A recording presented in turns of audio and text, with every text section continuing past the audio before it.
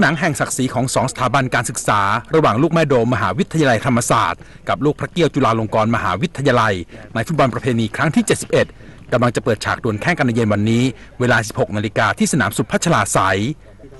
โดยปีนี้ธรรมศาสตร์ในฐานะเจ้าภาพภายใต้การคุมทีมของโค้ชวัง ทวัชชัยดำรงอ่องตระกูล กับโค้ชโชค โชคทวีพรหมรัตน์ถือว่ามีความพร้อมในเรื่องของการเตรียมทีมและตัวผู้เล่น ที่ปีนี้ได้นักเตะดีกรีทีมชาติไทย เข้ามาร่วมทีมอย่างคับคั่ง นำโดยนักเตะตัวหลักจากกิเลนผยองเอสซีจีเมืองทองยูไนเต็ดทั้งเมสซี่เจชนาธิป สรงกระสินธ์ เจ้าตังสารัช อยู่เย็น เจ้าทูชนานันท์ป้อมบุปผา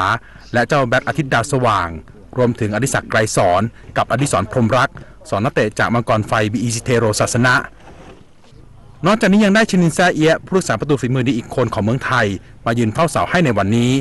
ทำให้นายสมชายพูลสวัสดิ์ผู้จัดการทีมมั่นใจว่าจะสามารถย้ำแค้นเอาชนะจุฬาลงกรณ์ให้ได้อีกครั้ง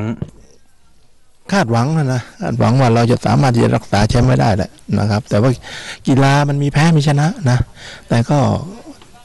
เราก็มั่นใจนะ ว่าจะสามารถที่จะรักษาแชมป์ไม่ได้ครับ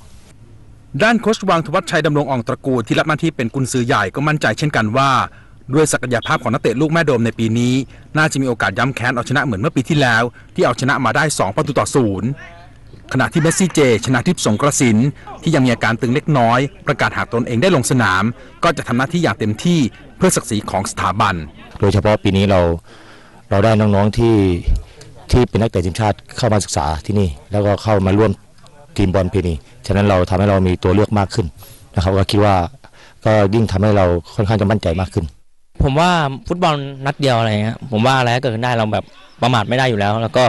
ทีมจุฬามีพวกรุ่นพี่ทีมชาติอะไรเงี้ยเราก็ต้องแบบเคารพในการเล่นของเขาด้วย แต่ในสนามมันไม่มีคำว่าพี่น้องอยู่แล้วครับสำหรับสถิติการพบกันของทั้งสองสถาบันที่ผ่านมา 70 ครั้ง ธรรมศาสตร์ชนะ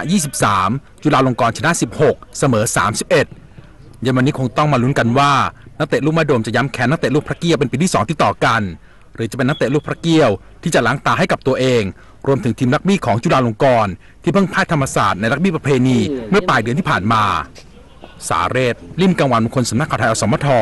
รายงาน